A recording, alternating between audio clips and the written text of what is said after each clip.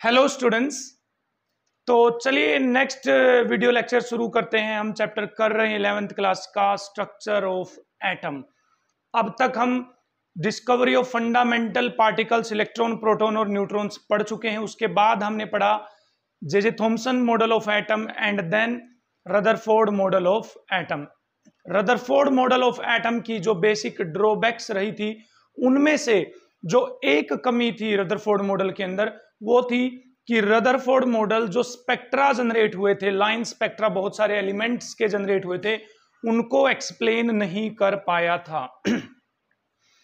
तो स्टूडेंट्स मैं आपको बता दूँ, इस लेसन का जो पूरे का पूरा ग्राफ है, वो आपके दिमाग में होना ज़रूरी है। हमने फंडामेंटल पार्टिकल्स की डिस्कवरी पढ़ी रदरफोर्ड के मॉडल की कमियाँ पढ़ी। तो पहले आप ये चेक करिए कि क्या जे जे थॉम्सन के मॉडल की कमियों को रदरफोर्ड के मॉडल ने दूर किया था या नहीं किया था? किया था, क्योंकि प्रोटॉन न्यूट्रॉन न्यूक्लियस के अंदर होते हैं। स्कैटरिंग क्यों होती है?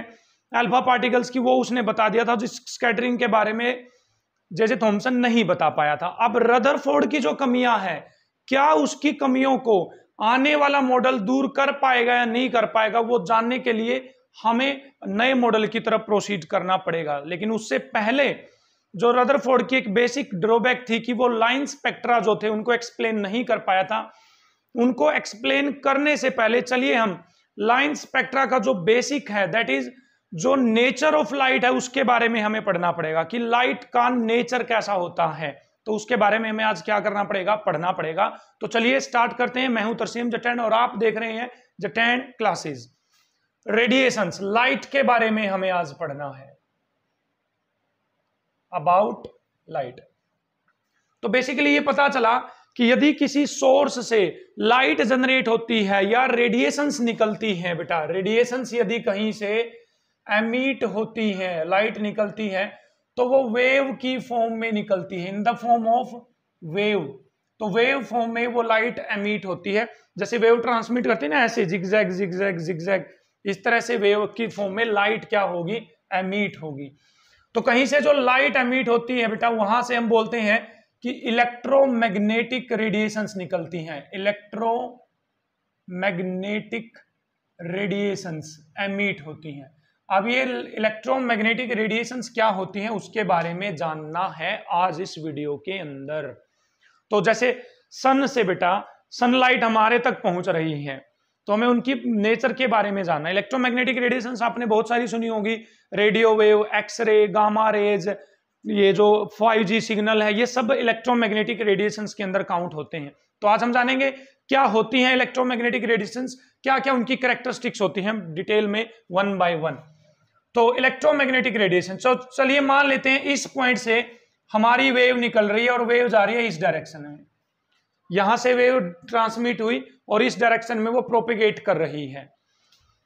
तो यदि उस रेडिएशन के साथ उस वेव के साथ इलेक्ट्रिक फ़ील्ड जुड़ा हो इलेक्ट्रिक फ़ील्ड इलेक्ट्रिक फ़ील्ड ये इलेक्ट्रिक फ़ील्ड है बेटा। दिस इज़ इलेक्ट्रिक फ़ील्ड किसी वेव के साथ इलेक्ट्रिक फ़ील्ड जुड़ा हुआ है और उस इलेक्ट्रिक फ़ील्ड के परपेंडिकुलर डायरेक्शन में देखो परपेंडिकुलर हम्म, कुछ इस तरह से। देखिए परपेंडिकुलर डायरेक्शन में यदि मैग्नेटिक फ़ील्ड भी प्रोपेगेट कर रहा है तो ऐसी रेडिएशंस को इलेक्ट्रोमैग्नेटिक रेडिएशंस बोलते हैं। तो ये कुछ इस तरह से है, देखो। मैंने यहाँ एक रस्सी बाँध दी, उस रस्सी को मैं ऐसे ऐसे कर रहा हूँ तो वे ऐसे ऐसी होगी देखो, ये ऐसे ऐसे ऐसे ऐसे। तो ये तो हो गया बेटा इलेक्ट्रिक फ़ील्ड इलेक्ट्रिक फ़ील्ड और उसी वेव के साथ यदि इस तरह से देखना, आपकी तरफ़, फिर बोर्ड की तरफ़, फिर आपकी तरफ़, फिर बोर्ड की तरफ़। देखो, अंदर, बाहर अंदर, बाहर। कौन सा फ़ील्ड उसके साथ जुड़ा हो? मैग्नेटिक फ़ील्ड और ये इलेक्ट्रिक फ़ील्ड और मैग्नेटिक फ़ील्ड एक दूसरे के परपेंडिकुलर हो तो ऐसी रेडिएशंस को इलेक्ट्रोमैग्नेटिक रेडिएशंस बोलते हैं। तो कौन सी radiations in which electric field and magnetic field propagate propagate perpendicularly perpendicularly with each other with each other and with propagation of wave propagation of wave such radiation ऐसी radiation को, ऐसी raise को हम electromagnetic radiations बोलते हैं। तो अब आपका डाउट क्लियर रहना चाहिए यहाँ पर। What do we mean by electromagnetic radiations ऐसी रेडिएशंस जिनमें इलेक्ट्रिक फ़ील्ड और मैग्नेटिक फ़ील्ड एक दूसरे के परपेंडिकुलर 90 डिग्री के एंगल पर प्रोपेगेट करते हैं वेव की प्रोपेगेशन के साथ। जिस साइड में वेव चल रही उसी की प्रोपेगेशन के साथ। ऐसी रेडिएशंस को इलेक्ट्रोमैग्नेटिक रेडिएशंस बोलते हैं। तो चलिए प्रोसीड करते हैं कुछ करेक्टरिस्टिक्स के बारे में। जो ये जो वेव्स होते हैं, वो वेव की फॉर्म में ट्रैवल करिए देखो वेव्स की फॉर्म में ट्रैवल करें। तो इस वेव की कुछ करेक्टरिस्टिक्स हम डिस्कस कर लेते हैं। लेट्स प्रोसीड तो चलिए बेटा करेक्टरिस्टिक्स ऑफ़ वेव में हम प्रोसीड करते हैं। सबसे पहला है हमारे पास वेव लेंथ वेव लेंथ तो क्या होती है वेव लेंथ देखिए, मान लीजिए आपके पास इस डायरेक्शन में ये वेव प्रोसीड कर रही है। This wave is proceeding in this direction ठीक है? अब जो ये हाइट है, ये देखो ये ऊपर की तरफ़ जो बना हुआ इसको बेटा करेस्ट बोलते हैं। This is known as crest इसको भी क्या बोलेंगे? करेस्ट जो पहाड़ की तरह ऊपर की तरफ़ बना हुआ इसको करेस्ट और जो ये नीचे की तरफ़ बना हुआ ये, इसको बोला जाता है बेटा trough this is also trough okay अब आगे जाके फिर करेस्ट आएगा, फिर टर्फ आएगा, फिर करेस्ट फिर टर्फ इस तरह से वेव हमारे पास ट्रेवल करती रहेगी तो वेव लेंथ का मतलब क्या होता है? वेव लेंथ का मतलब है कि दो करेस्ट पकड़ लीजिए, एक करेस्ट ये, एक करेस्ट ये। इनके बीच का जो डिस्टेंस है बेटा this is wave length wave length और वो करेस्ट लगातार होने चाहिए, ये नहीं कि ये करेस्ट पकड़ लिया, फिर ये करेस्ट पकड़ लिया नहीं, वो गलत हो जाएगा। या बेटा दो तरफ़ पकड़ लीजिए आप, एक तरफ़ ये पकड़ लिया, एक तरफ़ ये। इनके बीच का जो डिस्टेंस होगा that is also wave length तो वेव लेंथ क्या हुआ? The distance between two consecutive crest और टू कंसेक्यूटिव टर्फ। दो कंसेक्यूटिव बेटा, कंसेक्यूटिव का मतलब है लगातार। करेस्ट और कंसेक्यूटिव टर्फ के बीच की जो दूरी है, वो वेवलेंथ कहलाएगी। वेवलेंथ को बेटा लैम्बडा से डिनोट करते हैं, ऐसे lambda this is known as L A M B D A lambda lambda ठीक है? यूनिट क्या होगी? जो लेंथ की यूनिट होती है, लेंथ की, ये लंबाई ही तो है, यहाँ से यहाँ तक की लंबाई ही तो है। जो लेंथ की यूनिट होती है, मीटर, मिलीमीटर, सेंटीमीटर, एंगस्ट्रोम, ठीक है, पीकोमीटर, ये सब यूनिट होंगी हमारे पास वेव लेंथ की। तो वेव लेंथ आपको मीटर में गिवन हो सकती है, सेंटीमीटर में, एंगस्ट्रोम में, पीकोमीटर में, कहीं पर भी हो सकती तो आपको बताना, बेटा, मैं तीन वेव लिख रहा हूँ, किसकी वेवलेंथ सबसे ज़्यादा है? ठीक है, आपको बताना है। तो पहली वेव है ये दिस इज़ ए अगली वेव है बेटा ये। और अगली वेव है बेटा ये। बताइए किसकी वेवलेंथ सबसे ज़्यादा है, बताओ।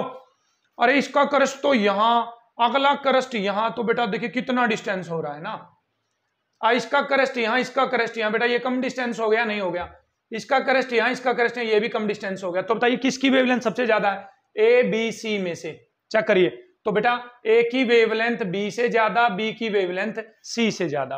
तो आई होप आपको वेवलेंथ में कोई भी डाउट नहीं है। दो करस्ट या दो टर्फ के बीच की जो दूरी है that is known as wavelength चलिए प्रोसीड करते हैं नेक्स्ट करेक्टरिस्टिक्स की तरफ़। तो चलिए बेटा नेक्स्ट करेक्टरिस्टिक की तरफ़ प्रोसीड करते हैं। वो है हमारे पास फ्रीक्वेंसी तो फ्रीक्वेंसी को समझने का सबसे मैं जनरल एग्जांपल देता हूँ। मान लीजिए आप जहाँ बैठे हैं, वहाँ रूम में पंखा चल रहा है। तो एक सेकंड में वो पंखा कितनी बार घूमेगा? वो उस पंखे की फ्रीक्वेंसी है। उस पंखे की फ्रीक्वेंसी तो क्या होता है frequency number of cycles per second एक सेकंड में कोई भी ऑब्जेक्ट कितने साइकिल कंप्लीट करता है? That is known as its frequency for example wave के साइकिल से क्या मतलब है सर देखो वेव के साइकिल अब वेव यहाँ से यहाँ गई, फिर वापिस यहाँ आई। तो ये बेटा एक साइकिल कंप्लीट हो गया, एक साइकिल फिर वेव यहाँ से यहाँ गई, वापिस यहाँ आई। तो ये कितने साइकिल कंप्लीट हो गए? दो साइकिल तो ये यहाँ से यहाँ गई तो कितने साइकिल कंप्लीट हो गए? तीन। तो वन टू थ्री तीन साइकिल हो गए, नहीं हो गए। तो ये इसकी क्या कहलाएगी? Frequency number of cycles per second is known as frequency समझ में आ गया? अब आपको बताना किसकी फ्रीक्वेंसी ज़्यादा है। आप बताना, देखना। आपको बहुत अच्छे से समझ में आ जाएगा बेटा। एक और वेव बना रहा हूँ मैं यहाँ पर। बहुत अच्छे से क्लियर होगा बेटा आपको। ठीक है थर्ड वेव भी बना रहा हूँ मैं यहाँ पर। बताइए, किसकी फ्रीक्वेंसी ज़्यादा लग रही है बेटा? देखो, ये यहाँ से गया, यहाँ जल्दी जाएगा, है ना? ये यहाँ गया, फिर यहाँ फिर यहाँ, दूर गया ना डिस्टेंस ज़्यादा हो गया। फिर इसको यहाँ जाना पड़ा, यहाँ जाना पड़ा, यहाँ जाना पड़ा। तो सब लंबा साइकिल किसका है? इसका, है ना? तो फ्रीक्वेंसी किसकी ज़्यादा होगी बेटा? फ्रीक्वेंसी देखो फ्रीक्वेंसी ये ए मान रहा हूँ मैं, यहाँ बी मान रहा हूँ मैं, बेटा, यहाँ सी मान रहा हूँ। तो किसकी फ्रीक्वेंसी ज़्यादा होगी बेटा? ए की फ्रीक्वेंसी ज़्यादा है बी से सी से। समझ पा रहे हो फ्रीक्वेंसी को? कोई दिक्कत तो नहीं है? अच्छा मैं कहूँ आपसे वेव लेंथ बताइए बेटा वेव लेंथ वेव लेंथ किसकी ज़्यादा है? सर वेव लेंथ तो मुझे इसकी ज़्यादा लग रही है सर देखो कितना डिस्टेंस है। इसकी वेव लेंथ कम है सर और इसकी वेव लेंथ तो और भी कम है, और भी कम है वेव लेंथ तो इसका मतलब यदि मैं वेव लेंथ पूछूँ तो आप आंसर दोगे सी बी ए यदि मैं आपसे फ्रीक्वेंसी पूछूँ तो आप आंसर दोगे ए बी सी यहाँ पर। तो क्या आपको ऐसा नहीं लग रहा यहाँ पर कि फ्रीक्वेंसी और वेवलेंथ में एक रिलेशन आ गया है? कि यदि वेवलेंथ कहीं पर ज़्यादा होगी, देखो वेवलेंथ कहीं पर ज़्यादा होगी सी में वेवलेंथ ज़्यादा है तो वहाँ पर फ्रीक्वेंसी कम हो जाएगी फ्रीक्वेंसी सबसे कम। वेवलेंथ ज़्यादा तो फ्रीक्वेंसी हो जाएगी बेटा सबसे कम सबसे कम। तो ये इनवर्सली प्रोपोर्शनल का रिलेशन आ गया है फ्रीक्वेंसी में और वेवलेंथ में। तो कहीं पर यदि मेरी वेवलेंथ ज़्यादा है तो मेरी फ्रीक्वेंसी कम हो जाएगी, मेरी फ्रीक्वेंसी ज़्यादा है तो वेवलेंथ कम हो जाएगी। ठीक है, समझ पाई इस चीज़ को? फ्रीक्वेंसी को बेटा लिखा जाता है न्यू से दिस इज़ न्यू ऐसे वी बनाकर ऐसे थोड़ा सा घुमा दो तो ये होता है न्यू देखना न्यू एन यू न्यू कहीं म्यू नहीं होता, ये इट्स नॉट म्यू ना ना ना. इट्स न्यू बेटा. न्यू से डिनोट करेंगे फ्रीक्वेंसी को. साइकिल्स पर सेकंड इसकी यूनिट हो जाएगी. साइकिल्स पर सेकंड यूनिट हो जाएगी. और साइकिल पर सेकंड को बोलता, बोलते हैं बेटा हर्ड्स हर्ड्स बोला जाता है दैट इज़ एच जेड क्या बोला जाता है? हर्टज बोला जाता है। तो फ्रीक्वेंसी अब आपको क्लियर है। Number of cycles per second कई बुक इसको ऐसा भी लिखते हैं, बेटा। Number of waves passing through a point किसी पॉइंट में से कितनी वेव पास हो रही है? वही उसकी फ्रीक्वेंसी होगी। तो जैसे, मैं यहाँ पर बेटा एक पॉइंट मान लू, ये पॉइंट है। चलिए, ये पॉइंट मैं इसका यहाँ पॉइंट मान लेता हूँ। यहाँ है पॉइंट ठीक है? मैं इसका पॉइंट मान लेता हूँ कि यहाँ है। तो बताओ, किसमें ज़्यादा वेव पास होंगी इस पॉइंट में से? इसकी तो वेव जल्दी जल्दी जल्दी जल्दी जल्दी जल्दी जल्दी जल्दी जल्दी पास हो जाएँगी इस पॉइंट में से, इस पॉइंट में से। इसकी वेव धीरे धीरे पास होंगी इस पॉइंट में से। और इसकी वेव तो नंबर ऑफ़ वेव्स और भी कम पास होंगी ना। इसको एक वेव मान के चलो आप इतने, इस साइकिल को एक साइकिल मान के। तो यहाँ कम होगी तो फ्रीक्वेंसी किसकी ज़्यादा होगी? इसकी फ्रीक्वेंसी किसकी कम होगी बेटा? इसकी। तो कोई डाउट नहीं है आपको फ्रीक्वेंसी में। Number of cycles per second nu से डिनोट करेंगे। हर्ज इसकी क्या होगी बेटा? यूनिट चलिए प्रोसीड करते हैं नेक्स्ट पॉइंट की तरफ़। तो नेक्स्ट पॉइंट है बेटा हमारे पास एम्पलीट्यूड बहुत आसान है समझने में। ए से डिनोट किया जाएगा एम्पलीट्यूड को। तो यहाँ पर है कुछ इस तरह से। ये है और हमारे पास। देखिए करस्ट की जो हाइट है ना, ये हाइट ये height this height this is known as amplitude या जो इस टर्फ की बेटा डेप्थ है ना depth this is also known as amplitude तो एम्पलीट्यूड क्या है? Height of crest height of crest और डेप्थ ऑफ़ टर्फ टर्फ की डेप्थ और हाइट करस्ट की is known as amplitude unit क्या होगी बेटा? फिर से मीटर नैनोमीटर सेंटीमीटर कुछ भी हो सकती है। जो लेंथ की यूनिट होती है, वही एम्पलीट्यूड की यूनिट्स होंगी। तो कोई प्रॉब्लम तो नहीं है आपको, ठीक है? अब आप खुद से सोचिए बेटा, एम्पलीट्यूड यदि ज़्यादा होगा, ये देखो ये देखो, यहाँ, और एम्पलीट्यूड यदि कम होगा तो देखो फ्रीक्वेंसी पे क्या फ़र्क पड़ रहा है, खुद से सोचना। यहाँ एम्पलीट्यूड कम है तो इतना डिस्टेंस ट्रेवल करना पड़ेगा बेटा। यहाँ थोड़ा सा एम्पलीट्यूड ज़्यादा कर दूँ तो मैं जल्दी जल्दी वेव आ जाएगी। तो ऐसा नहीं लग रहा कि एम्पलीट्यूड यदि इंक्रीज होगा, क्या इंक्रीज होगा बेटा? एम्पलीट्यूड यदि इंक्रीज होता है, ठीक है? तो बताओ, फ़र्क पड़ रहा है ना यहाँ पर भी? वेवलेंथ में और किसमें फ़र्क पड़ रहा है? हमारे पास इसमें फ्रीक्वेंसी में भी फ़र्क पड़ेगा। तो आगे जाकर पढ़ेंगे हम कि एम्पलीट्यूड बढ़ने से वेवलेंथ बढ़ेगी या घटेगी? या एम्पलीट्यूड घटने से वेवलेंथ बढ़ेगी या घटेगी? तो इस तरह से आप एम्पलीट्यूड कर सकते हो। हाइट ऑफ़ करस्ट और depth of trough is known as amplitude. कोई डाउट आपको नहीं होना चाहिए। बताइए इनमें से किसका एम्पलीट्यूड ज़्यादा है? बेटा, ये तीन एग्ज़ाम्पल मैंने बनाए। ए बी सी किसका एम्पलीट्यूड ज़्यादा बेटा? ए का एम्पलीट्यूड सबसे ज़्यादा, देखो हाइट कितनी ज़्यादा है। सी का एम्पलीट्यूड सॉरी बी का एम्पलीट्यूड सबसे कम है। और सी का एम्पलीट्यूड कहाँ आएगा बेटा? बीच का। तो this is the order of amplitude आ जाएगा। चलिए नेक्स्ट करेक्टरिस्टिक की तरफ़ बढ़ते हैं। तो चलिए बेटा प्रोसीड करते हैं वेव नंबर की तरफ़। समझना आप वेव नंबर आपको मैं आप समझाता हूँ। हाँ। मान लीजिए एक वेव ये है हमारे पास this one is the wave okay एक वेव है आपके पास ये। हमें बताना है किसका एम्पलीट्यूड यहाँ पर ज़्यादा है। Sorry wave number not amplitude wave number number of waves per unit length अब मान लो एक यूनिट लेंथ मान लो, आप इसकी मान लेते हैं, यहाँ से यहाँ तक मैं एक सेंटीमीटर मान लू बेटा। इसको एज्यूम कर रहा हूँ बेटा, मैं एक सेंटीमीटर लेंथ है। तो इतनी ही लेंथ इसकी लो। एक सेंटीमीटर ही ये ले लिया। फिक्स ले ली दोनों की लंबाई। इसमें कितनी वेव आई काउंट करो? देखो हम्म, एक वेव आई एक हम्म, दो ये तीन ये चार ये पाँच और ये छ छह वेव आई या नहीं आई? ये इस एक साइकिल को एक वेव मानेंगे हम। तो यहाँ पर कितनी आई बेटा? Six wave per centimetre six waves per centimetre आई या नहीं आई? है ना? यहाँ देखना कितनी आई बेटा? एक और लगभग दो के करीब आई। इसको यदि मैं यहाँ तक मान लू तो लगभग किसके करीब आई बेटा? दो वेव्स तो बताइए, जिसमें number of waves per unit length में ज़्यादा है, उसका वेव नंबर ज़्यादा है। तो वेव नंबर क्या है? Number of waves per unit length किसी एक पार्टिकुलर यूनिट लेंथ में यूनिट लेंथ मतलब एक सेंटीमीटर ही मान लो या एक मीटर मान लो, कुछ भी मान लो। यूनिट का मतलब एक। एक सेंटीमीटर, एक मीटर में कितनी वेव्स आती हैं, वही उसका वेव नंबर कहलाता है। तो आप लोग बताना भाई ध्यान से।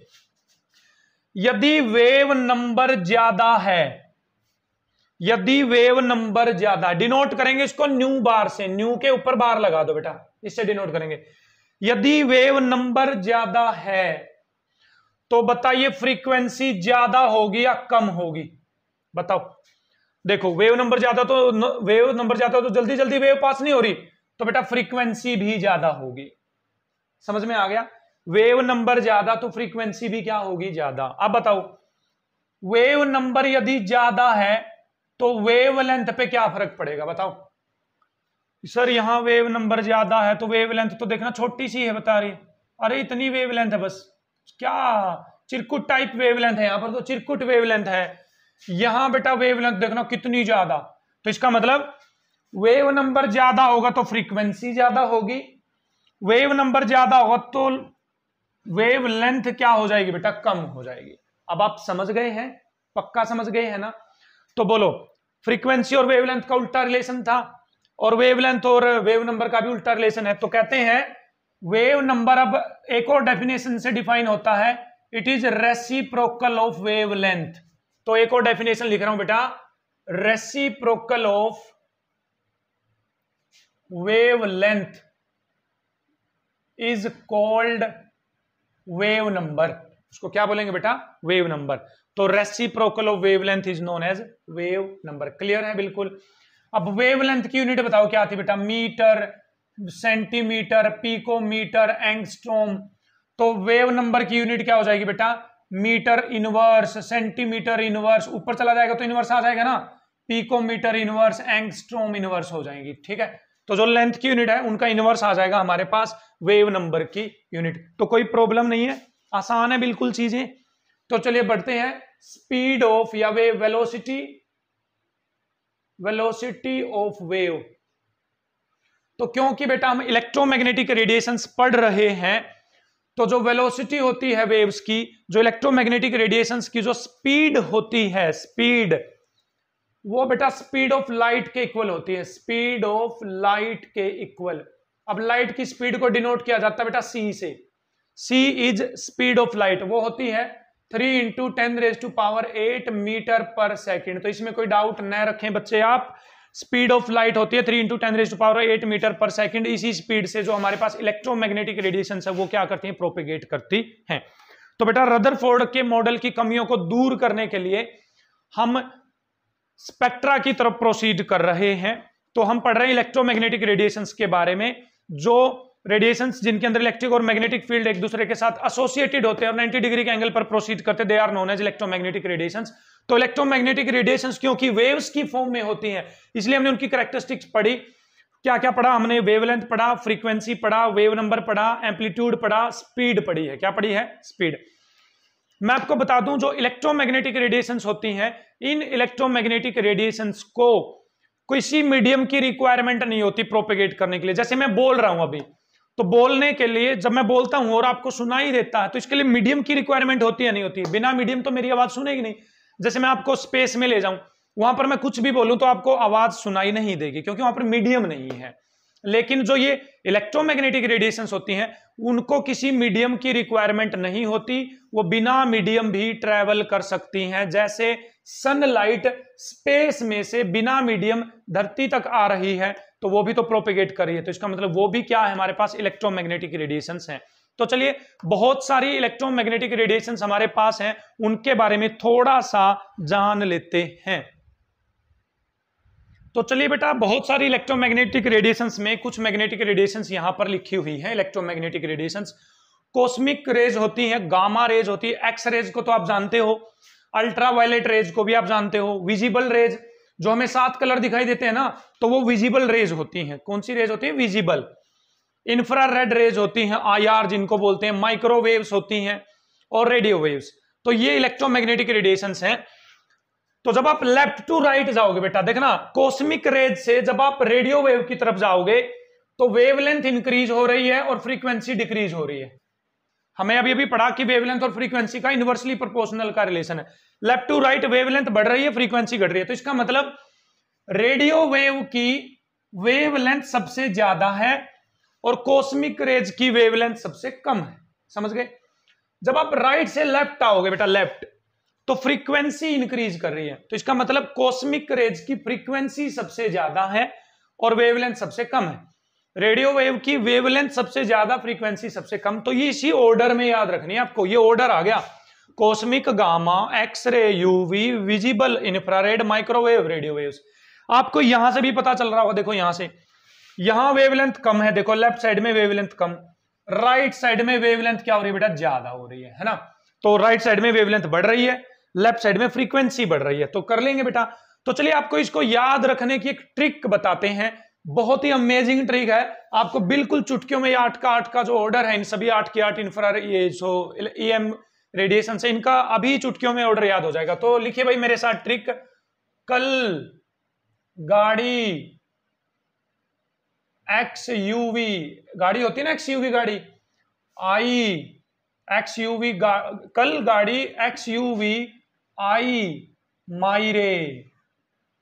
माई रे। अपनी माँ को बता रहा है कोई कि कल गाड़ी एक्स यू वी आई, माई रे। चलिए इससे बताते हैं। कल से बेटा है कॉस्मिक रेज ठीक है? ग से है बेटा गामा रेज गामा रेज ठीक है? कर लेंगे गामा रेज एक्स का मतलब बेटा एक्स रेज है यू का मतलब है बेटा अल्ट्रा वायलेट रेज है ना? यूवी रेज वी का मतलब है बेटा विजिबल रेज आई का मतलब इंफ्रारेड रेज माई का मतलब माइक्रोवेव्स और रे का मतलब बेटा रेडियो वेव्स तो हो जाएगा याद? तो लेफ़्ट टू राइट बेटा वेवलेंथ इंक्रीज हो रही है, और राइट टू लेफ़्ट बेटा क्या इंक्रीज हो रही है हमारे पास? फ्रीक्वेंसी इंक्रीज हो रही है। तो कर लेंगे। कल गाड़ी एक्सयूवी आई, माई, रे। तो ये था हमारे पास इलेक्ट्रोमैग्नेटिक रेडिएशन का स्पेक्ट्रा बोलते हैं बेटा इसको। क्या बोलते हैं इसको बेटा? स्पेक्ट्रा तो बेसिकली स्पेक्ट्रा होता क्या है? जहाँ पर अलग अलग रेडिएशंस को उनकी वेवलेंथ या फ्रीक्वेंसी के डिक्रीजिंग या इंक्रीजिंग ऑर्डर में रखा जाता है तो उसको स्पेक्ट्रा बोलते हैं। टेंथ क्लास में आप पढ़ते थे VIBGYOR V I B G Y O R ये आपने स्पेक्ट्रा पढ़ा होगा। तो बोलो बेटा विब ग्योर में सबसे ज़्यादा वेवलेंथ कौन से कलर की होती थी बेटा? रेड कलर की वेवलेंथ सबसे ज़्यादा होती थी। सबसे कम वेवलेंथ किसकी होती थी? वायलेट कलर की। तो इसका मतलब वायलेट कलर की फ्रीक्वेंसी सबसे क्या होगी बेटा? ज़्यादा होने वाली। तो उसको स्पेक्ट्रा बोलते थे, नहीं बोलते थे कि प्रिज्म में से लाइट गई स्पेक्ट्रा जनरेट हुआ। तो स्पेक्ट्रा में क्या है? वेवलेंथ के इंक्रीजिंग या फ्रीक्वेंसी के डिक्रीजिंग या इंक्रीजिंग ऑर्डर में रखा हुआ। वही तो स्पेक्ट्रा है। तो ये सारी की सारी इलेक्ट्रोमैग्नेटिक रेडिएशन का स्पेक्ट्रा है। तो बेटा विजिबल रेज की बात कर लेते हैं विजिबल तो हमारे पास ये कलर विजिबल होते हैं विब ग्योर क्या होते हैं बेटा? विब ग्योर ठीक है? तो आपको मैं यहाँ पर आपके लिए कमेंट में ऑप्शन छोड़ रहा हूँ, बेटा। आपको बताना है कि विब ग्योर का जो विजिबल रीजन होता है हमारा, हम इसी वेवलेंथ की रेडिएशंस को देख सकते हैं। इनसे बाहर की वेवलेंथ की रेडिएशंस को हम नहीं देख सकते। आपको बताना है या कहीं से पता करना है कि विब ग्योर का विजिबल रीजन है जो ये हमारा विजिबल रीजन ये कितनी वेवलेंथ से कितनी वेवलेंथ तक का होता है। मतलब हम कितनी वेवलेंथ से कितनी वेवलेंथ तक की रेडिएशंस को देख सकते हैं, ये आपको कहीं से पता करना है। मैं नहीं बता रहा कमेंट में बताइए भाई आप लोग, ठीक है? तो आपको कहीं पर मिलेगा 380 से 760 नैनोमीटर के आसपास मिलेगा। कहाँ से कहाँ से मिलेगा बेटा? 380 नैनोमीटर से 760 नैनोमीटर तक का विजिबल रीजन होता है। तो 380 से 760 नैनोमीटर की रेडिएशंस को हम देख सकते हैं। तो ये था हमारे पास इलेक्ट्रोमैग्नेटिक रेडिएशन का स्पेक्ट्रा चलिए प्रोसीड करते हैं नेक्स्ट पॉइंट की तरफ़। तो चलिए बेटा नेक्स्ट पॉइंट की तरफ़ प्रोसीड करें तो फ्रीक्वेंसी और लैम्डा के बीच में क्या रिलेशन होता है? अभी अभी हमने पढ़ा वेवलेंथ बढ़ती है तो फ्रीक्वेंसी घटती है या फ्रीक्वेंसी बढ़ती है तो वेवलेंथ घटती है। तो इनका इनवर्सली प्रोपोर्शनल का रिलेशन है या नहीं है? है? है? प्रोपोर्शनल का रिलेशन कि भाई वेवलेंथ बढ़ेगी तो फ्रीक्वेंसी घटेगी। तो यदि डर इसको, इस साइन को हटाना है तो आपने फिजिक्स वगैरह में सीख रहा तो किसी कांस्टेंट को लेने, लेकर आना पड़ेगा। तो मैं कांस्टेंट ले आया सी सी क्या है बेटा? Speed of light three into ten to power eight metre per second जो कांस्टेंट होती है। इंटू में वन बाय लेमडा तो यहाँ से बेटा क्या रिलेशन आ गया? C is equals to nu lambda क्या रिलेशन आ गया बेटा? C is equals to nu lambda now this is really very important relation आपको कहीं पर आगे न्यूमेरिकल्स में यूज़ हो जाएगा, ठीक है? तो अभी मैं आपको बता दूँ, जो आगे हम थोड़े एक दो न्यूमेरिकल करेंगे। तो वहाँ पर आपको ये कन्वर्जन आपको याद होना चाहिए। ये तो भाई रट्टा मार लीजिए इस चीज़ का तो याद रखना है आपको। इस रिलेशन को याद करना है C equal to nu lambda और ये, जो वन एंगस्ट्रोम होता है, जो लेंथ की यूनिट होती है, वो दस की पावर माइनस दस मीटर के इक्वल होती है। दस की पावर माइनस दस मीटर के इक्वल कैसे याद रहेगा बेटा? ए एम याद रखना आपको ए एम टाइम नहीं होता ए एम पी एम क्या होता है हमारे पास? ए एम पी एम ठीक है तो यहाँ से ए एम याद रखिए। ए एम से याद हो जाएगा एंगस्ट्रोम अरे भैया तो गलती हो गई है एम का मतलब तो टेन होता ही नहीं है। भाई हाँ ये कोई ट्रिक नहीं है। भैया कोई ट्रिक नहीं। हाँ ट्रिक इसके लिए है। ठीक है? इसके लिए ट्रिक है। ठीक है नैनोमीटर को मीटर में कैसे कन्वर्ट करेंगे बेटा? देखो, न से नैनो, न से होता है नाइन न से नैनो, न से नाइन ठीक है? तो इसका मतलब एक नैनोमीटर में न से नैनो, न से नाइन तो दस की पावर माइनस नाइन मीटर होते हैं। हो गया, ये तो याद बेटा, हो जाएगा। चलिए आगे चलते हैं, ठीक। पीकोमीटर को कैसे याद करेंगे? थोड़ा मैं बस ट्रिक ही बना रहा हूँ कि तो टाइम पास ही कर रहा हूँ भाई इसमें यही लगा लीजिए। अच्छा एक पीकोमीटर में कितने हैं बेटा? मीटर बारह बारह तो बारह। तो ऐसे याद कर सकते हो तो पीबी पब पब से याद कर सकते तो पी से पीकोमीटर, ब से बारह, पब। पीबी पब, ठीक है? पी से पीकोमीटर, ब से बारह। ठीक है बी से बारह हो गए ना, बीस से बारह, ठीक है तो कर लोगे भाई, कोई दिक्कत नहीं है, ठीक है, ये रट लेना भाई आपको ten raise to power minus nine metre चलिए एक छोटा सा नुमेरिकल इससे रिलेटेड कर लेते हैं। तो चलिए बेटा, ये छोटे छोटे दो न्यूमेरिकल्स कर लेते हैं। देखिए, यहाँ से बोर्ड में तो नुमेरिकल पूछा जा सकता है, छोटा मोटा न्यूमेरिकल बट कंपटीशन में यहाँ से नुमेरिकल आना कोई पॉसिबल नहीं है। बट ये रिलेशन कहीं पर यूज़ हो सकता है। कोई बड़ा नुमेरिकल सोल्व करने के लिए रिलेशन कहीं ना कहीं यूज़ हो सकता है। चलिए, याद सोल्व करते हैं। कैलकुलेट फ्रीक्वेंसी बेटा। फ्रीक्वेंसी निकालनी है। इंफ्रारेड रेडिएशन की। यदि उनकी वेवलेंथ हमारे पास three into ten raise to power six nanometre तो भाई नैनोमीटर को पहले तो मीटर में कन्वर्ट करो बेटा। नैनो नै से नाइन तो क्या ऐसे करना पड़ेगा? टेन की पावर सिक्स इंटू टेन की पावर माइनस नाइन से मल्टीप्लाई कर दिए। तो थ्री इंटू में टेन की पावर माइनस थ्री मीटर आ गया बेटा। आ गया? अब हमें पता है कि सी इक्वल्स टू होता है न्यू लेमडा बेटा। तो न्यू किसके इक्वल हो जाएगी बेटा? सी बाय लेमडा के इक्वल सी सी क्या होता है बेटा? Speed of light that is three into ten raise to power eight lambda की वैल्यू कितनी आ गई? Three into ten raise to power minus three three से थ्री कैंसिल हो गया तो बेटा, ऊपर जाएगा तीन तो क्या हो जाएगा आपके पास? टेन की पावर इलेवन हर्ट्ज में आंसर आ जाएगा। किसमें आ जाएगा बेटा? आंसर हर्टज में आंसर आ जाएगा। कोई दिक्कत तो नहीं है? हर्ट्ज का मतलब सेकंड इनवर्स ना, इतने साइकिल पर सेकंड हो गए अभी इतने साइकिल्स पर सेकंड कर लेंगे? ऐसे भी नहीं समझ में आ रहा तो मीटर पर सेकंड इसकी यूनिट है। लेमडा की यूनिट होगी मीटर। मीटर से मीटर कट गया तो सेकंड इनवर्स आ गया ना? ठीक है, चलिए नेक्स्ट पे पढ़ते कैलकुलेट वेव नंबर बेटा न्यू बार कैलकुलेट करना है। फ्रीक्वेंसी न्यू कैलकुलेट करनी है। ऑफ़ रेडिएशन हैविंग वेवलेंथ आपको दे रखी है। वेवलेंथ दे रखी बेटा एंगस्ट्रोम में। एंगस्ट्रोम को बताइए, किसमें कन्वर्ट करना पड़ेगा हमें? मीटर के अंदर। एंगस्ट्रोम को क्या करना पड़ेगा बेटा? कन्वर्ट करना पड़ेगा। तो बताओ एंगस्ट्रोम में क्या था वो? एम वाली गलती हुई थी ना हमसे। तो बेटा अट्ठावन सौ को मल्टीप्लाई कर दिए ten raise to power minus ten से। ठीक है? टेन की पावर माइनस टेन से। तो भाई क्या हो जाएगा? ये बताइए भाई क्या हो जाएगा? टेन की पावर टू तो अट्ठावन इंटू टेन की पावर माइनस एट के आसपास आ जाएगा भाई। मेरे को तो ऐसा ही लग रहा है मीटर में। बाकी आप कैलकुलेट करना। ऐसा ही मैथ्स है मेरा तो। ठीक है? मैथ में बहुत कमज़ोर था मैं। ऐसी बात नहीं है। मतलब ऐसी ही बात है। तो आप कैलकुलेट करना। ये सही है, नहीं है? तो चलिए वेवलेंथ आ गई हमारे पास। तो बेटा न्यू बार निकाल लेते हैं। न्यू बार किसके इक्वल था? वन बाय वेवलेंथ तो वन बाय वेवलेंथ कितनी आ गई बेटा? एक अट्ठावन into ten raise to power minus eight ten की पावर एट को ऊपर ले जाऊँ मैं अट्ठावन आ जाएगा नीचे। तो ये आंसर लिख लेना भाई। आप कैलकुलेट कर लेना। कैलकुलेट आप, आप अपने आप कर लोगे। ये मीटर में है तो बेटा ये किसमें आ जाएगा? मीटर इनवर्स में आ जाएगा। कोई दिक्कत तो नहीं है? अच्छी बात है। चलिए बेटा फ्रीक्वेंसी कैलकुलेट करनी है। तो फ्रीक्वेंसी होती है बेटा सी बाय लेमडा सी है three into ten raise to power eight lambda की वैल्यू आ गई हमारे पास। That is 58 eight into ten की पावर माइनस एट सोल्व कर लेंगे आप तो क्या निकल जाएगी? आपके पास फ्रीक्वेंसी निकल जाएगी। तो इस तरह से आज हमने इलेक्ट्रोमैग्नेटिक रेडिएशंस के बारे में पढ़ा, उनकी करेक्टरिस्टिक पढ़ी, क्या होती है इलेक्ट्रोमैग्नेटिक रेडिएशंस ये हमने पढ़ा। वेवलेंथ और वो जो फ्रीक्वेंसी का ऑर्डर था various type of electromagnetic radiations के लिए हमने वो पढ़ा। आई होप आपको क्लियर है। हम पढ़ रहे हैं इलेक्ट्रोमैग्नेटिक वेव थ्योरी और आप देख रहे हैं बेटा जट्टैन क्लासेस समझ में आया है तो अच्छे से शेयर करिए अपने दोस्तों के साथ, दूसरे स्कूल के बच्चों के साथ शेयर करना न भूलें और देखते रहिए जट्टैन क्लासेस मेरे साथ।